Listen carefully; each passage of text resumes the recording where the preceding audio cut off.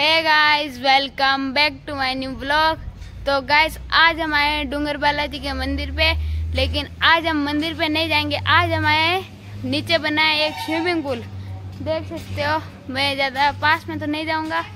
ये swimming pool और ऊपर है बालाजी का मंदिर। और आज हम यहाँ पे घूमने के लिए आए हैं। देख सकते हो स्विमिंग पूल है यहाँ पे। और भी यहाँ पे बहुत सारे मंदिर भी आसपास में। यहाँ पे चेंजिंग रूम भी है। ड्रेस चेंज कर सकते हो आप। और इसी के सामने एसी रूम्स आप रात को रुक भी सकते हो। यहाँ पे खाने पीने की व्यवस्था है। अभी खाना भी ट्राई करेंगे। यहाँ पे एक झूला भी लगा हुआ है। बहुत बड़ी पार्किंग भी है और यहाँ पे बहुत सारे फूल भी है, देखो। हमने ऑर्डर किया है यहाँ पे बर्गर और एक पेप्सी नाश्ता करते हैं यहाँ पे। खाने में तो बहुत अच्छा लग रहा है। ट्राई करते हैं।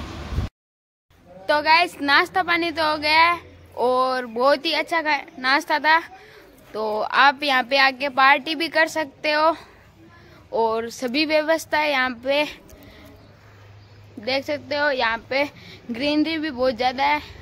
और यहाँ पे लिखा हुआ है आई लव यू खेती।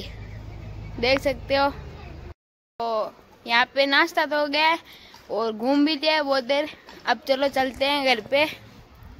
तो गैस अभी हम जा रहे थे गाँव और हमें रास्ते में मिली महाराणा प्रताप की स्टेच्यू देख सकते हो आप मेरे पीछे। हम इसके पास भी जा सकते हैं देखने के लिए। तो मैं आपको पास जाके भी दिखाऊँगा। और बहुत बड़ी स्टेच्यू है ये।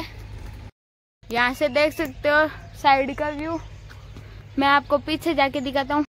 देख सकते हो अभी मैं साइड में आ गया हूँ स्टेच्यू के। और ये बहुत ऊँची है। यहाँ पे चारों तरफ़ पेड़ पौधे ही हैं।